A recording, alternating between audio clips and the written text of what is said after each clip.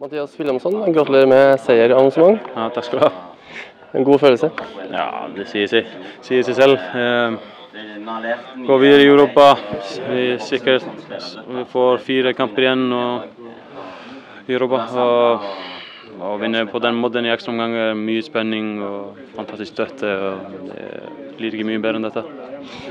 Igjen så skåret Dundalk tidligere i kampen, sånn som i første kampen. Lærte vi ikke av det bakgrunnsmålet?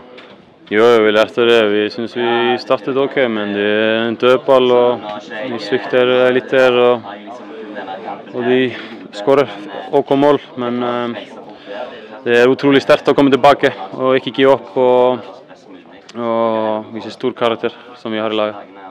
Og du kommer inn og skårer mål igjen. Ja. Det begynner å bli en vane? Ja, det begynner å bli Vi ja, går veldig bra om dagen. og Vi håper det slutter aldri, men sannsynligvis gjør det det en gang. Så ja, jeg prøver å gjøre så godt jeg kan. Og, og jeg kjenner gutta såpass godt, så jeg vet hvor ballen kommer. Jeg er ikke helt sikker på statistikken, men du har vel noe sånn som tolv mål på de siste tolv kampene. Det er jo veldig bra. Ja, det, er jo veldig bra, men, uh, men også hvis du ser på minuttene i alle disse kampene, da blir det enda bedre. Det at du spiller så bra og skårer hver kamp, og så likevel starte på benken, hvordan, hvordan, hvordan tar du det? Jeg, selvfølgelig blir jeg skuffet.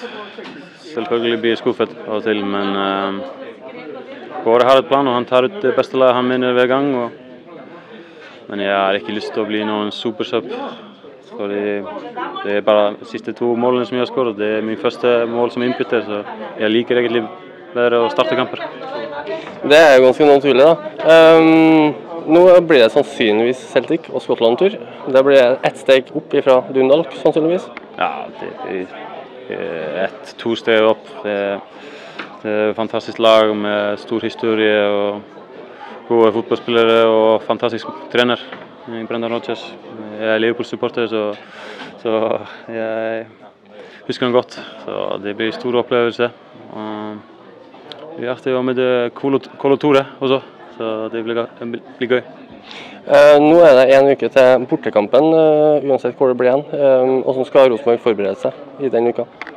Uh, nei, vi skal være godt forberedt som alltid og ta litt de resten tusen i morgen, så blir det en eller to fridager. Og så kommer vi tilbake med, med lave skuldre og skal kjøre på. Vi har ingenting å tape.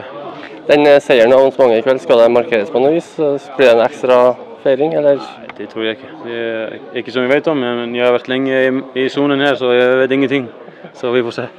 Tusen takk.